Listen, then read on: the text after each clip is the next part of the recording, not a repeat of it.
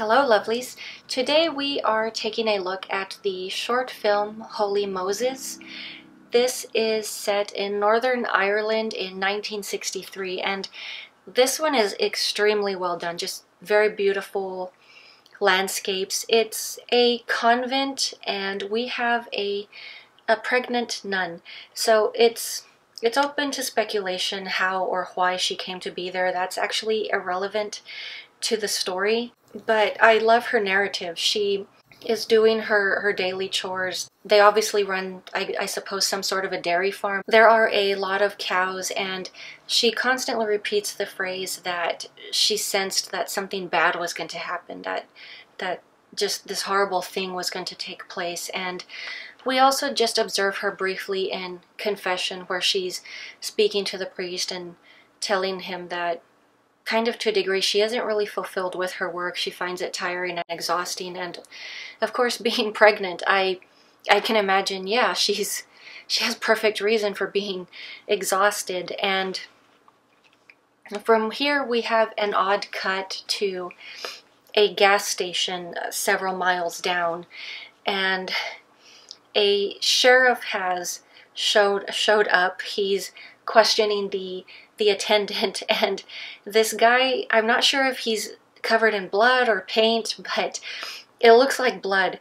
There is apparently a dead cow in the in the office of this of this gas station. And they're just confused. They're trying to figure out what in the world is going on. Sometime later they're they're walking through the I just just the surrounding area and they find a burning bush.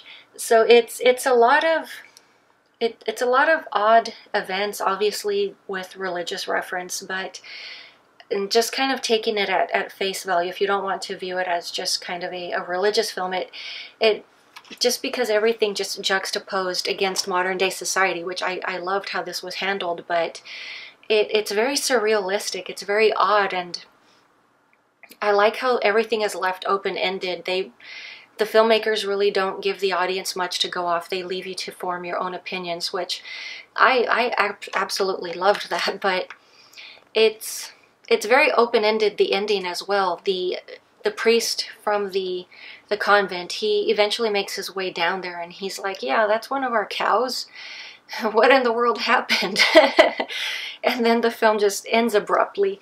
But it's I know, it, it sounds like this whole odd rigmarole with really no actual plot, but obviously taking the religious symbolism into consideration, uh, yeah, I imagine they, they really are saying a lot here, but I, I don't know, it, it was very odd, but it held my interest. I thought it was a very good short film. If you decide to check this one out, please let me know what your thoughts are. Uh, maybe you can help me make better sense of this film, but whatever it is that the message was being conveyed, I really enjoyed this one. But that is all I have for you guys for today, and I will talk to you later.